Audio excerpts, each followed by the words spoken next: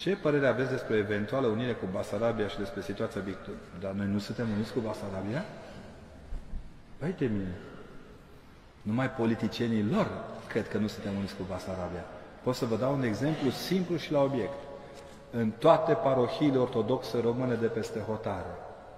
Am văzut Italia, am văzut Spania, am văzut. Nu vă mai zic unde că iar mă invidiați.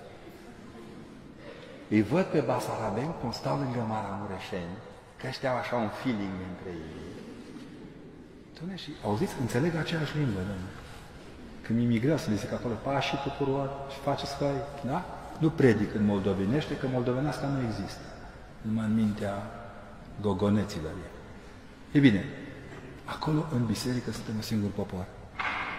În biserica ortodoxă nu există decât un singur popor, poporul român.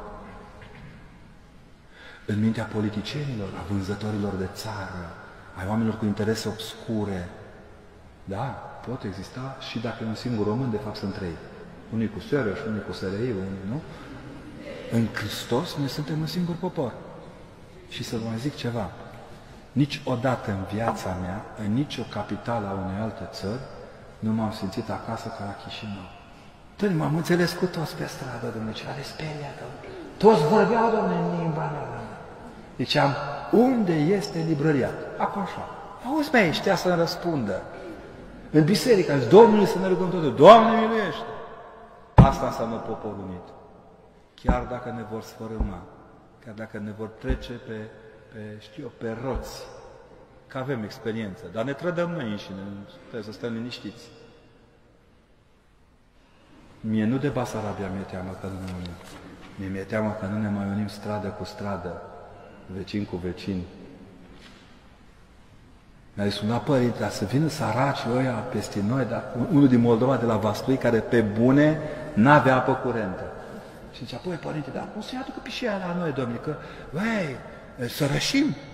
Și mi-am aminte ce șoc am avut când după ce am depășit județul Vaslui și am intrat pe teritoriul Republicii Moldova, ce curăție a locurilor, ce scumpătate a peisajului, ce gospodară mână întinsă cu bunătăți. Să știți că dacă pierdem Basarabia, e vina noastră. Ne-am pierdut raiul. Basarabia e raiul. Noi suntem în iad, cu frecușurile noastre. Pe ei chinui acolo alții, pentru că sunt raiul. Ăia știu bine cine sunt Basarabia. Pe mine m-a uimit foarte mult să aflu că ani de zile agricultura transilvaniană de mare calitate imediat în perioada interbelică și imediat după primul război mondial și al doilea război mondial, o perioadă de timp, n-a fost dusă de alți agronomi aduși de pe la Leipzig, de la Bruxelles, de pe nici nu existau. Ca, ca specialitate. Veneau basarabenii să învețe pe noștri cum să... Știți că vânăta, vânăta aia de ne place nouă, de post, de nepost, cum o fia, când au venit basarabenii cu ea, cei din satele din zona Sibiului o prăjau pe jar și o mâncau direct, că îi credeau că așa se mănâncă. Au venit basarbenii și au învățat și cum să mănânce vânăta. Nu-i priviți ca ceva din urma noastră, priviți ca pe ceva dinaintea noastră. Și mai este ceva. Să nu uitați că pe sub pământ Basarabia e una cu România prin oasele sfinte care ne leagă. Cel, cel mai important regiment care a apărat și a ocupat Chișinău, să știți că a fost de la Oradea. Vreau să vă aduceți aminte de asta. Copiilor din, din oraș, învățați-i cine au fost bunicii și străbunicii. Că ardelenii nu muri pe frontul de vest. Nu murit pe frontul de vest. Sunt înmormântați acolo. Sunt înmormântați acolo. Dar noi ne ascundem după deget. Noi încă suntem copărtași la vina de a ne uita morții. Știți când se încheie un război? Când toți morții căzuți la datorie sunt îngropați. Românii noștri, din 230.000 de militari români, am îngropat cu surle și dobe 42. Un număr colosal. Norocul Vasile Șoimaru, așa îl cheamă pe un profesor de la Chișinău, un om de mare calitate, care împreună cu părintele Viorel Cojocaru acum trei ani de zile au plecat în zona Stalingradului și au descoperit unde au fost înmormântați românii noștri cu, uh, cu botul de la buldozer, cu șenilata, așa i-au îngropat pe ei noștri. Se mirau cetățenii cinstiți ai zonei respective ca în 64 ca primul calc al roșu din lume. Nu era calc al roșu, era un calc al Cohemati. Ieșeau românii la înviere. Știți? Și când s-au dus acolo, nu era niciun semn să arate că a trecut armata română. Și când au mers cu două crăci legate cu tricolorul, a fost prima cruce pusă peste țărâna lor noștri. Suntem un neam de uituci interminabili. Și să vă mai zic ceva. Ficiorii din Ardeal care au plecat la război sub, uh, armată, sub numele armatei maghiare sunt înmormântați, poate dintre ei, în cimitirul maghiar de acolo. Este și o listă lungă de aproape 900 de români. Bunica mea a murit ascunzând tot timpul o fotografie a unui unchi de-al meu în Biblie. Și am ce are, mă? Unchiul Ilie care a căzut la potul Domnului. Nu mi-a arătat poza niciodată de rușine că era îmbrăcat în honved. Că de unde să aibă Ungaria atâția ficiori tineri să-i trimită la moarte.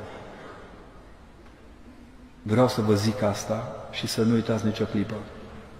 Când cântă cântecul Bucovină, plai cu flori, unde sunt ai tăi ficiori, ori fost duși în altă țară, dar se întorc la primăvară, vreau să rețineți că primăvara la care se întorc e învierea.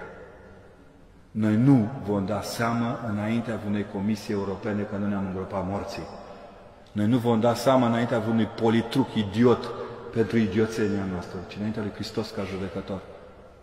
I-am spus o dată unui general român și am zis, domnule general, cum o să dați, domne, ochii cu generalii care au murit alături de armata română când n-ați fost în stare să le recuperați din țărână arma? Cu ce ochi? Cine mai știe azi în România că singurul militar din al doilea război mondial, decorat, e drept de Hitler, Dumnezeu să nu-l ierte, cu cea mai înaltă distinție germană, un sublocotenent de la câmpul Numus, cel care a ținut pe loc patru divizii de tancuri ca să se poată retrage o unitate întreagă. Cine își mai aduce aminte de lucrurile astea? Iar cel mai frumos examen de înviere pe care l-am citit vreodată în viața mea este la o carte scrisă de un, un, un mușcelean care a fost tânăr sublocotenent, de două ori a luat Mihai Viteazu, nu ca ăștia acolo. Face în general la apelul suroaierilor și ciorapilor vânduți peste hotare. General de armată, dar ăsta era un sublocotenent care a făcut și foarte multă pușcărie. Aurel State îl cheamă, l-au trimis.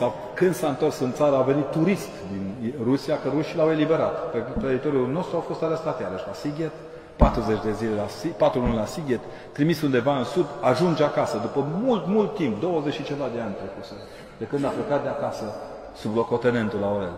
Și ajunge acasă, se duce în câmpul lui Mușcel, când se dă jos din mașină, un camion, steagul, cum era pe vremea aceea, cei bătrâni știu că semnalizai cu mâna pe geam, că n-aveai de unde becuri. Așa, se, se, se oprește și spune, haideți să vă duc acasă. Noaptea la două jumate, el era de un sat de lângă câmpul Mușcel. Mulțumesc frumos, haideți. Și vede că, într-adevăr, camionul pleacă spre casă, spre satul lui. Zice, vă rog frumos să mă iertați, zice, da, da, de unde știți că vreau să mă duc în satul cu tare? Și domnule, domnule state, zice, eu am fost elev în Colegiul Național, de aici, din mijlocul orașului. Toată tinerețea mea, trei ani de zile, mă uitam cu coada ochilor dimineața în librărie unde era tabloul dumitale pus cu ordinul Mihai Vitează. Ai fost onoarea unui oraș întreg. Iar când ne-au spus că ai murit, am plâns toți și toți am pus câte o lumânare pentru Dumnezeu. Și ajunge cu el târziu, noaptea în sat. Deloc lumină, totul stins, la o singură casă ardea o singură lumină. Era mama lui care știa, auzise că s-ar putea să vină acasă.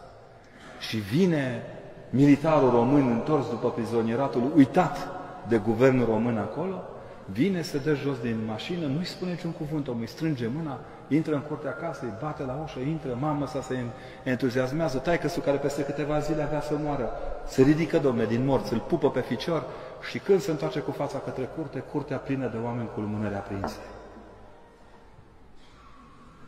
Cine va aprinde lumina când ni se întorc morții acasă? Că ne-o sting acum când suntem vii. Secretarul de partid din vremea aia, care a venit și el ghiduș acolo, i-a strâns mâna, i-a pupat-o și a spus, mulțumesc că te-ai întors. Dacă tu te-ai întors, e posibil ca ei să plece. Adevărul e că numai morții ăștia în viață nu mai salvează. Că morții ăștia morți ne pot duce de râpă totdeauna. Și atunci, e posibil să ne unim cu Basarabia, dar cu o singură condiție, la înviere. Să fim tot timpul candidați la înviere. Laboratorul învierii se va aplica.